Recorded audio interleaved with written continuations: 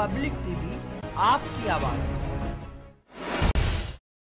मुरादाबाद में दो लोगों की शराब पीने से मौत हो गई। घटना मुरादाबाद के बिलारी थाना क्षेत्र में गाँव टांडा, अमरपुर की है।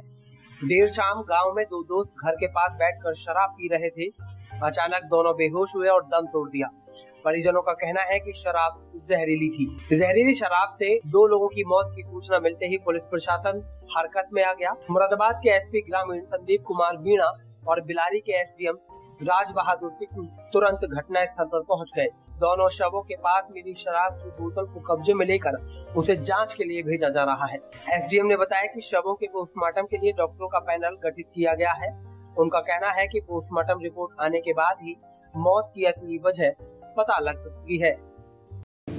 देखिए, आज अमरपुर टांडा में एक आपके सुभाष चंद्र पुत्र जसवंत सिंह और नौबत पुत्र श्री केवल।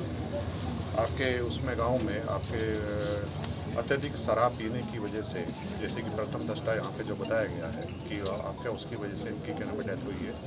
क्योंकि आपके मृत्यु के हम संदिग्ध है अतः इस, इसके लिए पोस्टमार्टम के लिए पूरी पैनल के माध्यम से और टोटल इसकी वीडियोग्राफी आपकी कम कराई जा रही है। जो जो परिवार द्वारा एक पर्टिकुलर दुकान के लिए इंडिकेट किया गया है उसके लिए पूरी हमारे आबकारी की टीम के माध्यम से आपकी उसकी पूरी पूरी कहने में जाँच कहने में की जा रही है।